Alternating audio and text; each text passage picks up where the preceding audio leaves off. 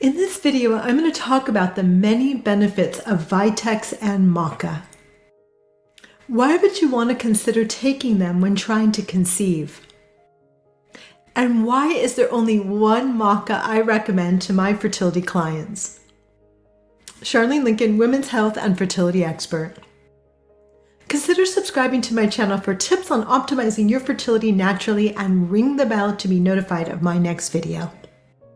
Also, I want to discuss when you would take one over the other and contraindications to consider. Let's start with Vitex, alternatively known as chasteberry. Clinical research has shown Vitex's ability to balance fertility hormones.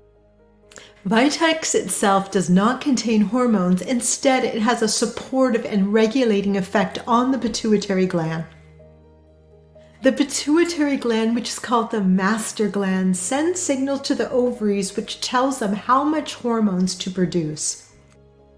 In studies, Vitex was shown to decrease FSH and increase LH, which in turn increases progesterone. Both of which are necessary for your body to ovulate and for the regulation of menses, also, Vitex can reduce estrogen dominance, which is often the root cause of PMS. Proper progesterone levels are needed to prepare the body for pregnancy as it signals the body to thicken the uterine lining for implantation. Too low levels of progesterone can result in spotting and miscarriage. In one study of 45 women taking Vitex, 86% responded positively with normalized or significantly improved progesterone levels. What if your progesterone levels are adequate? Is Vitex then still a good idea? Some women complain of side effects from taking Vitex. These side effects include weight gain, fatigue, headache, breast tenderness, bloating, mid cycle spotting, and mood swings. These symptoms sound very similar to when progesterone levels are too high. That's why I recommend test, don't guess, and get your progesterone levels tested prior to starting Vitex. What about treating luteal phase defect with Vitex? Vitex has shown to increase length of a shortened luteal phase, which is the period after ovulation. The luteal phase is important for proper implantation and support of a pregnancy. If the luteal phase is too short, that's less than 10 days, it may indicate low progesterone or high prolactin levels. In a study, it showed 40 milligrams of Vitex was as effective at lowering prolactin levels as a prescribed drug. Vitex has also been very effective at regulating menses and easing symptoms of PMS. A history of PMS symptoms can be an early indicator of hormonal imbalances like estrogen dominance that can lead to difficulty conceiving. What about Vitex for amenorrhea? In a six and a half month study of 15 women with amenorrhea, 67% had resumed a menstrual cycle by the sixth month of use. Progesterone levels also increased.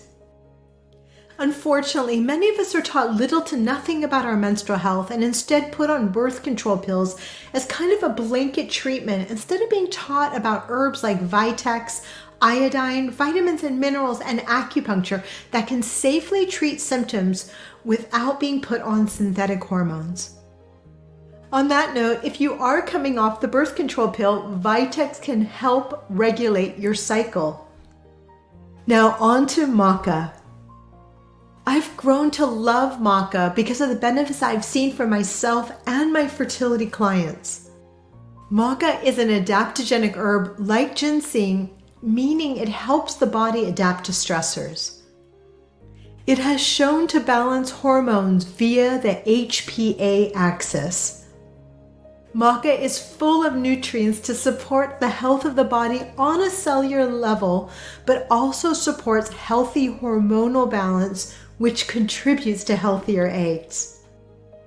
In animal studies, maca has shown to increase follicle count and improve sperm health. Did you know maca is a complete protein as well as containing 31 different minerals and 60 different phytonutrients? I made a video about maca that I'll put in the info card above and the description below. In the video, I detail the many benefits of maca as well as the dark side of this amazing root.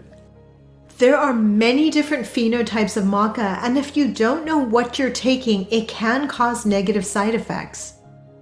I feel that maca can be of great benefit to most women if you take the right one. I use it as a foundational first step treatment when there are hormonal, thyroid, or adrenal imbalances. When choosing a maca, only use one that is gelatinized and comes in capsules and a blister pack. Something that is not discussed is how unstable maca is once processed. A lot of the effectiveness of the maca powder decreases rapidly with exposure to oxygen and moisture.